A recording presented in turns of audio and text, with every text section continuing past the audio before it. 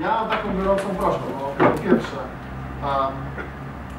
oprócz tego, że zostały tym poinformowane media, e, to my jako urząd oficjalnie o tym wiedzieliśmy, że Państwo przybędą, po pierwsze. Po drugie, to jest chyba kluczowe w tym wszystkim, dzisiaj na posiedzeniu zespołu z racji urlopów nie ma nikogo z przedstawicieli zarządu mienia komunalnego.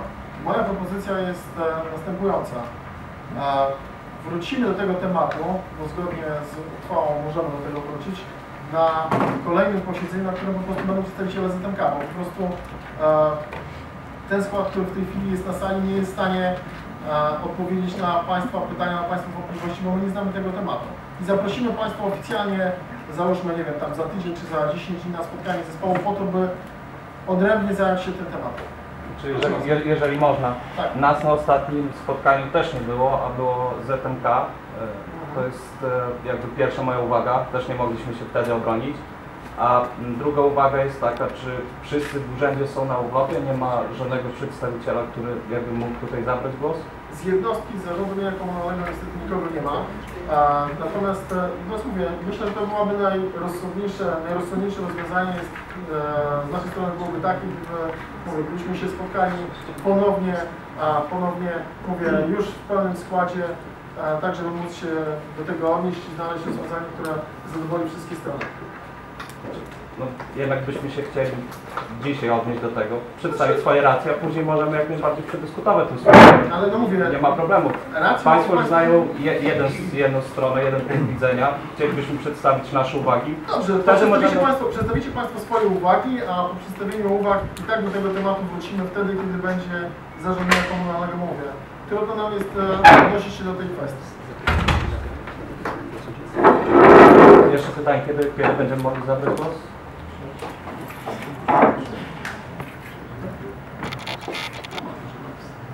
Proszę, niech Państwo przedstawią. Dobrze. Może zacznę ja. Przedstawię się Michał Mucha. Jestem prezesem Orlowskiego Instytutu Rzeczpospolitej Suwerennej. E, No i tak tutaj jak e, Pan Przewodniczący już przedstawił, zebraliśmy się po to, aby e, merytorycznie odnieść się do, do ekspertyzy wydanej przez Zarząd Mienia Komunalnego e, i nieco naprostować być może wątpliwości albo niejasności związane z tym i tym, co się stało z naszym e, wnioskiem. E, Także może, może zacznę od sprawy bardzo błahej, mianowicie no, ZMK od początku deklarowało przychylny stosunek do naszej inicjatywy, chęć pomocy. E, No i okazało się to jakąś jedną wielką farsą, bo problem w komunikacji był niesamowity. Nagle zaczęły znikać klucze, nie chciano nas wpuszczać na obiekt.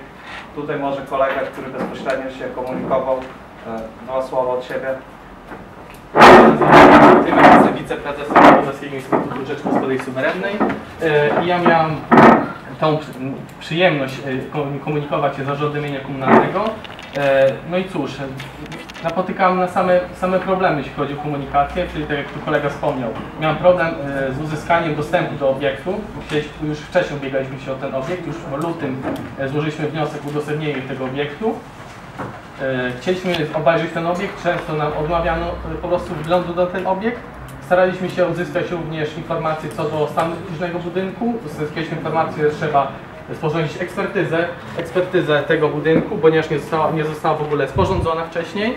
E, Kiedy zostało, kiedy zostało rozpisane zapytanie ofertowe, które co, co, co ciekawe, e, zapytanie ofertowe trwało 4 dni, widniało na witrynie Zarządu Mienia Komunalnego, mimo że zwyczaj, zwyczaj panujący, taki, taka praktyka Zarządu Mienia Komunalnego to y, zapytania ofertowe czy też inne y, zamówienia publiczne y, widnieją na witrynie około 10-14 dni. W naszym przypadku to trwało 4 dni. To nas bardzo nie zaniepokoiło.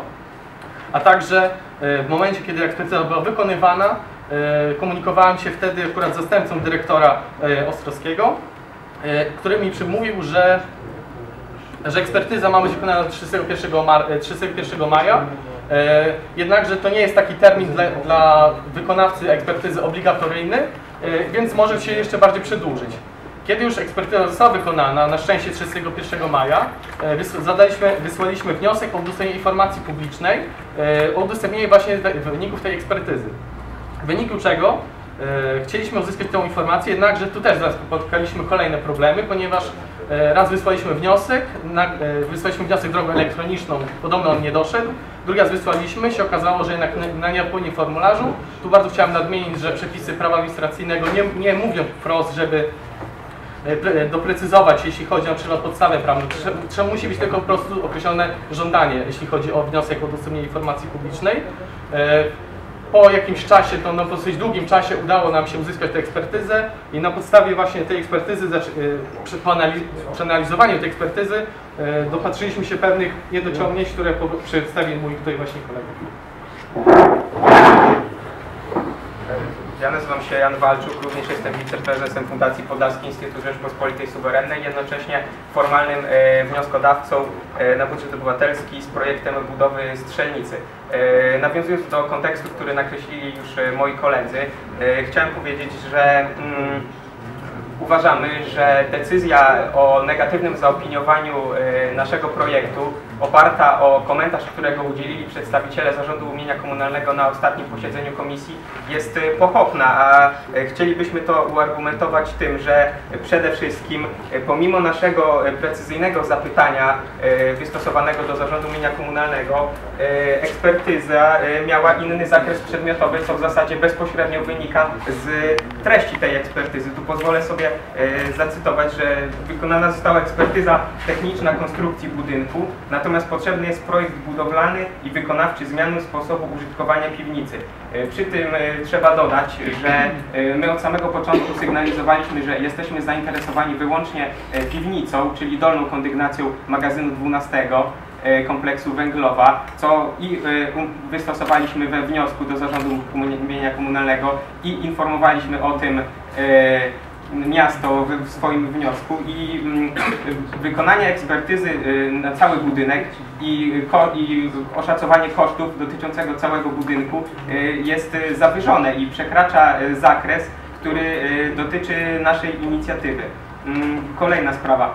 Wyliczenia Zarządu Mienia Komunalnego zawierają koszty napraw koniecznych, których poniesienie e, leży w kompetencjach Zarządu Mienia Komunalnego, czym stanowi bezpośrednio litera prawa. Zarówno ustawa o prawie budowlanym, jak i uchwała Rady Miasta Białystok, którą zacytuję za chwilę nasz kolega i trudno jest nam ocenić, jaka była przyczyna e, takiego sformułowania e, myśli przez Zarząd Mienia Komunalnego, ale nie, nie- niejako to sugeruje, że Zarząd Mienia Komunalnego życzy sobie, aby te koszty zostały przerzucone na kogoś innego.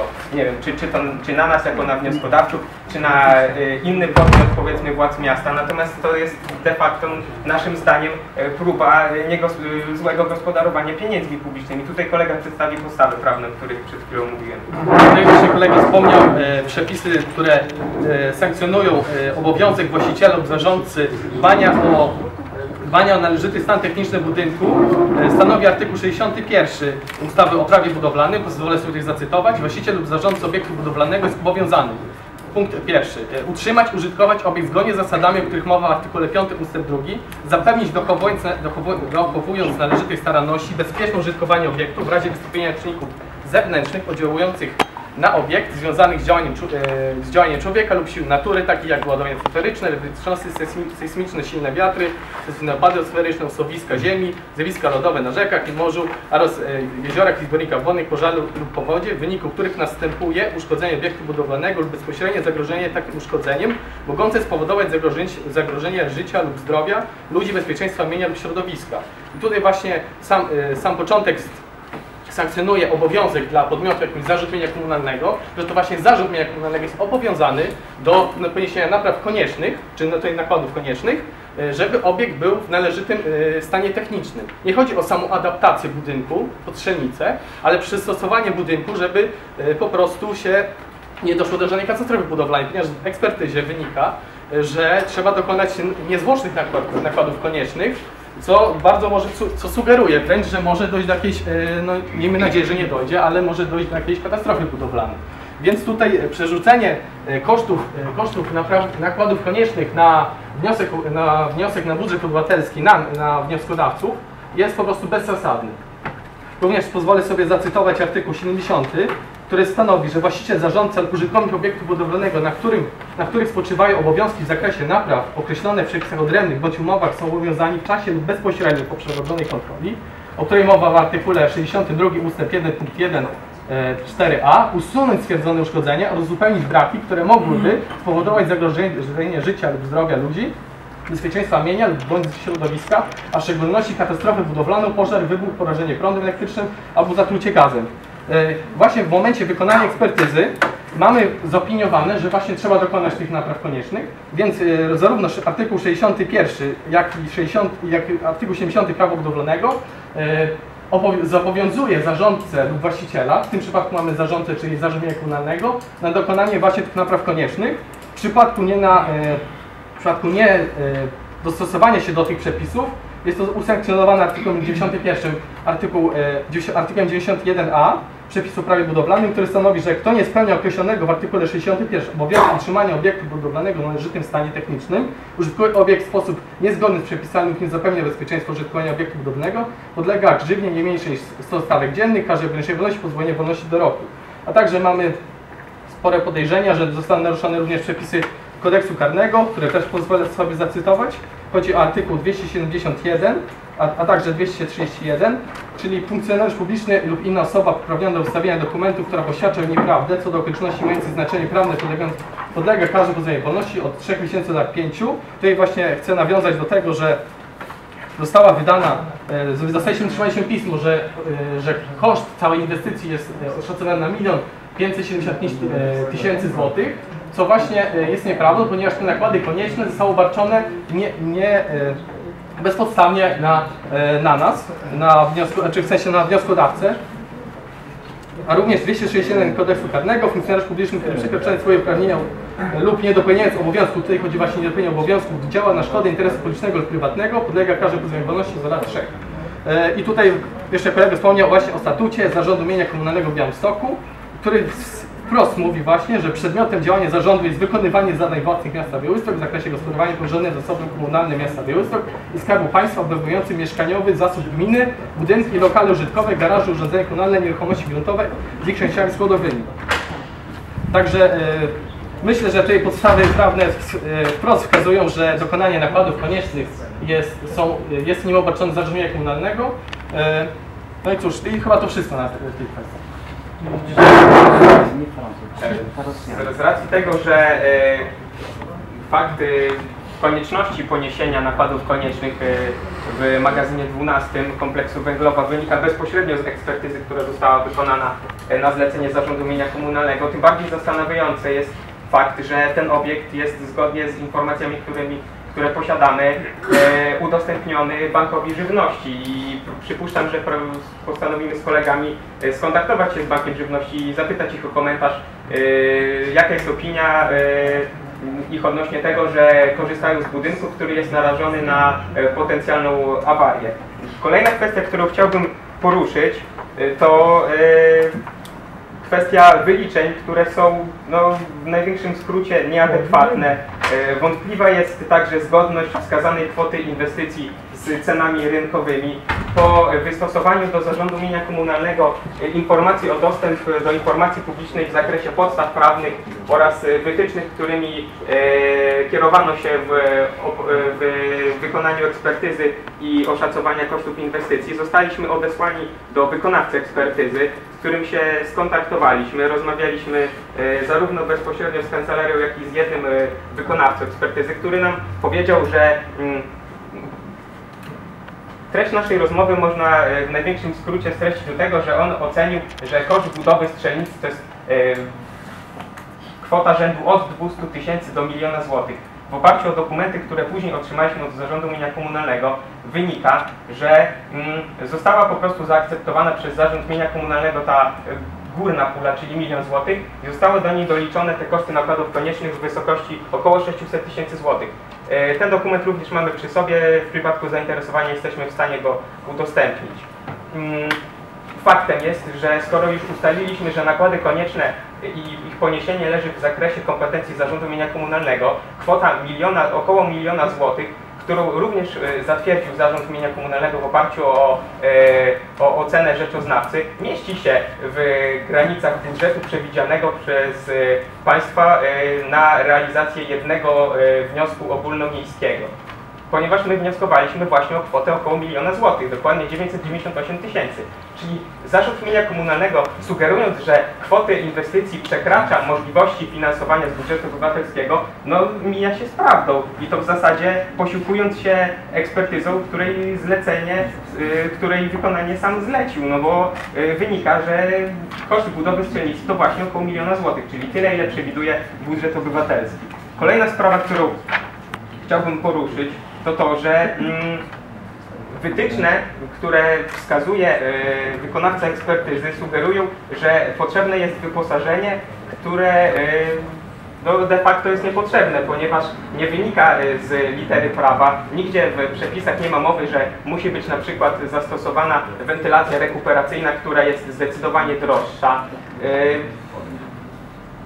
My jako strzelcy sportowi konsultowaliśmy się z szerokimi środowiskami, także właścicielami strzelnic i oni nam sugerują, że to jest zwyczajna fanaberia chociażby instalacja e, wentylacji rekuperacyjnej, co podnosi koszty, ale nawet jeżeli podnosi koszty, to to też jednak nie jest istotne z tego względu, że e, Zarząd Mienia Komunalnego uwzględnił to w swojej ekspertyzie i nawet, nawet z zastosowaniem chociażby tej wentylacji rekuperacyjnej nadal mieścimy się w budżecie. Zalecenia Zarządu Mienia Komunalnego są no, nie, nie, nieprecyzyjne, z tego względu, że powoływali się oni e, chociażby na e, rozporządzenie ministra infrastruktury, e, zaraz powiem dokładnie, które, mm, rozporządzenie ministra infrastruktury w sprawie warunków techni- technicznych, jakim, jakim powinno odpowiadać budynki i ich usytuowanie. Mm, Zgodnie z interpretacją, której dokonał e, wykonawca ekspertyzy, minimalna wysokość w świetle powinna wynosić 3,3 e, metra. Mm, W piwnicy magazynu 12 wysokość wynosi 2,84 metra. Jednak e, punkt drugi paragrafu 72 tego samego rozporządzenia e, sugeruje, że w momencie, jeżeli w, e, w momencie, gdy mm, w adaptowanych pomieszczeniach będzie instalowana klimatyzacja bądź wentylacja, e, wówczas inspektor, wojewódzki inspektor sanitarny wydaje decyzję o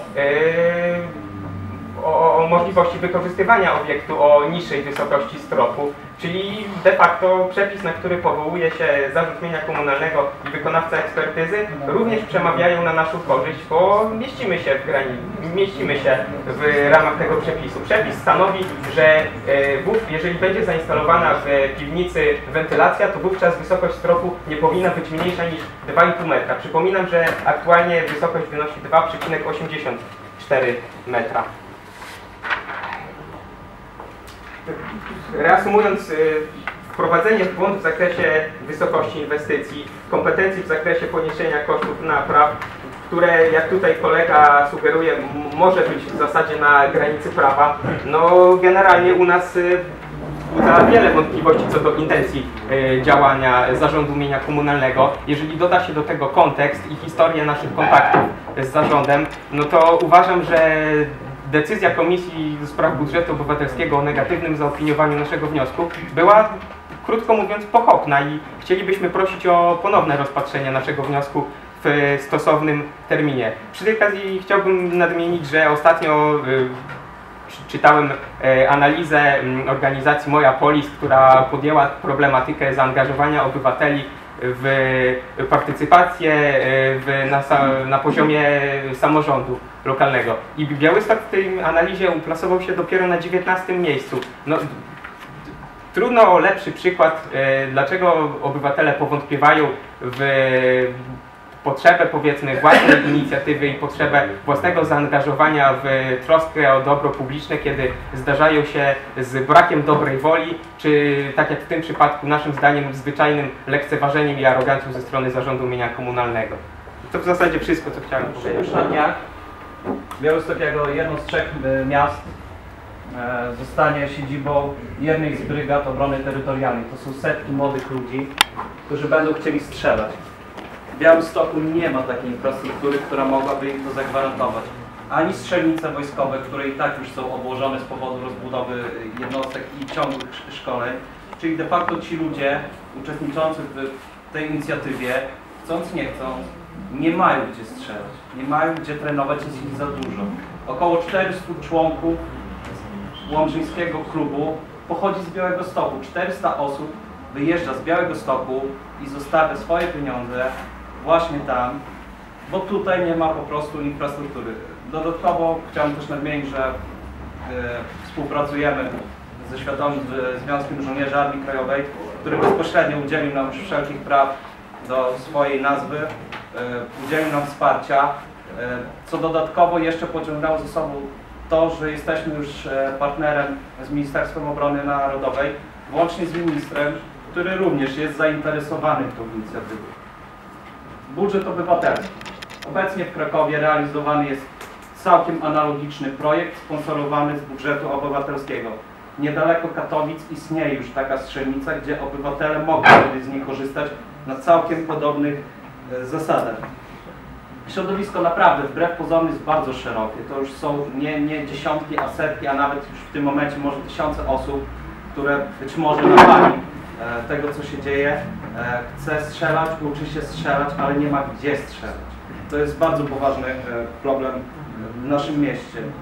Już tak kończąc, strzelnica tak czy siak, no, będziemy dążyć do tego, żeby ta strzelnica powstała, a z Państwa chcielibyśmy zostawić z tym pytaniem, czy Państwo chcą też w tym partycypować i wykorzystać tą niewątpliwą szansę, ponieważ jest to projekt na pewno innowacyjny w naszym regionie.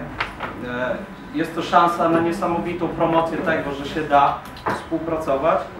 E, I z takim pytaniem chcielibyśmy Państwu po prostu zostawić do, do przemyślenia. E, I to tyle z naszej strony. Dziękuję serdecznie. E, Dziękuję. No. Zacznijmy może od spraw technicznych. Proponujemy następny termin, czwartek, za dwa tygodnie, 18 sierpnia o godzinie 14.30. E, Dyrektor Ostrowski będzie już po urlopie, więc wtedy, e, wtedy się spotkamy ponownie w gronie naszego zespołu spraw budżetu obywatelskiego. Ten punkt będzie ujęty w programie. E, Mam taką prośbę tutaj do wnioskodawców. Panowie, no, ponieważ pamięć ludzka jest ulotna, wy przedstawiliście sporo informacji, czy jesteście w stanie wysłać,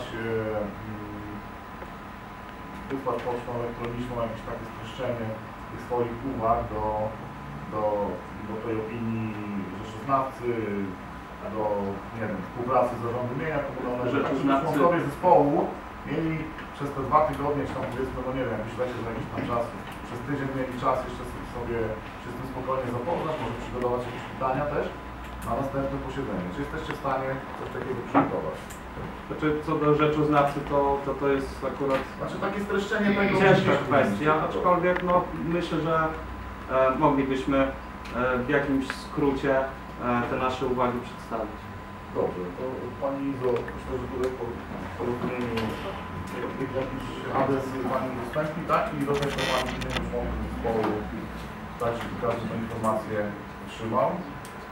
Ale korzystając z okazji, że rozmawiamy na temat tego projektu, mam też pytanie e, odnośnie samego funkcjonowania. Jak wyglądałaby potem ogólnodostępność tego projektu oraz koszty, e, koszty utrzymania tej strzelnicy w tym pierwszym roku czy w kolejnych latach funkcjonowania? Zakładając, że oczywiście Może kolega Jan wnioskodawca. E, Jeśli chodzi o kwestię zarządzania w- powstałym obiektem, to przychyliliśmy się tutaj do sugestii, które otrzymaliśmy od zespołu konsultacyjnego, który funkcjonował e, jeszcze w trakcie e, terminu składania wniosków, e, czyli z pomocy de facto urzędników miejskich, którzy zasugerowali nam oparcie się na kazusie Białostockiego Ośrodka Sztuk Walki, który e, również e, realizował, podjął próbę realizacji swojej inicjatywy w ramach budżetu obywatelskiego i wniosek został zatwierdzony. We wniosku została zawarta klauzula, że obiektem będzie zarządzał operator w późniejszym czasie. Czyli kiedy, kiedy budynek już zostanie przystosowany do, do, do prowadzenia strzelania, wówczas e, zgodnie z informacją, jakie posiadam, e, an, a, stosując analogiczną sytuację, jaka miała miejsce w przypadku Białostockiego Ośrodka Sztuk Walki, powinno zostać e, rozpisane zapytanie ofertowe na operatora tak powstałego obiektu, mm, z zastrzeżeniem, że mm, obiekt ten nie będzie generował dalszych kosztów dla miasta, to znaczy e, no, ponoszenie kosztów funkcjonowania obiektu będzie przyjmował na siebie operator. My chcielibyśmy wystartować w tym zapytaniu ofertowym. Nie mówię, że musimy być to my, ponieważ jest to inicjatywa, którą y, my in- inaugurowaliśmy, ale kierujemy ją do bardzo szerokiego środowiska. Także kwestia tego, kto dokładnie będzie y, zarządzał tym obiektem jest nadal otwarta i będzie rozstrzygnięta y, w drodze zapytania ofertowego czy innego konkursu. I natomiast y, odnosząc się jeszcze do drugiej kwestii, bo Pan zapytał o koszty dla miasta. No nie będzie kosztów dla miasta i to w zasadzie zastrzegliśmy też w naszym wniosku. To tyle. Może jeszcze ktoś z Państwa, zespołu ma pytania w tej sprawie? Jeśli nie, to wrócimy do tego. Wracamy do tego tematu